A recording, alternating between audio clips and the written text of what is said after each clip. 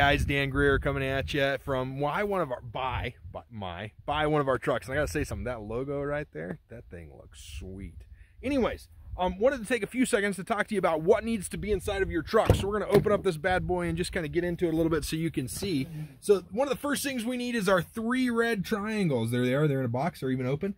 One of the next things we need is our fire extinguisher. It needs to be mounted and secure. That bad boy is on the opposite side. If we look over there, we can see it. If we look close enough, hold on, let me see. Can you see it? Oh yeah, right behind that air hose, by them hats. Yeah, see it? Okay. Last thing we need is some spare fuses. Make sure that you've got uh, several spare fuses in there, enough, uh, at least one for each of them that you've, that you've got, like each side. So if you got 5 amp, 10 amp, 20 amp, 30 amp, whatever, you want to have at least one spare fuse for each side. Some of the other things you need to have in your truck are like all of your paperwork. So if you're hauling hazmat, you need to have, you know, an ERG guide, the emergency response guide. It needs to be in the driver's side door.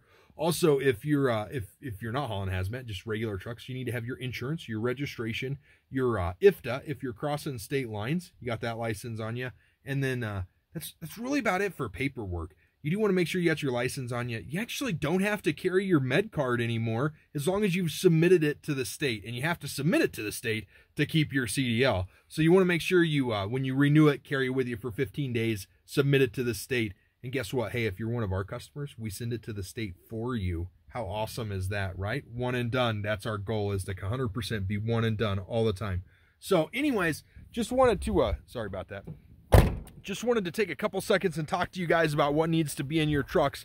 Uh, you really don't need anything other than that. There is a few rules depending on what state you're in. So like Colorado says, and, and I just want to take a few seconds and debug this. I know this is going a little long, but Colorado says that you've got to have chains in your truck if you're on the I-70 corridor, pretty much between Denver and Grand Junction, even if the chain law is not in effect. Now, a lot of people take that and misconstrued it and twist it all over, and they're like, oh, you got to have chains on your truck if you run in Colorado.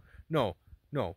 You only have to have them on your truck if you're running that I-70 corridor from September 1st through May 31st. If you're running anywhere else in the state, you don't have to have those chains in your truck. Just wanted to kind of debug that. I will say this, though it's probably a good idea to have a set of chains on your truck because if you don't and the chain law comes into effect, you got to pull over and park it until the chain law is off.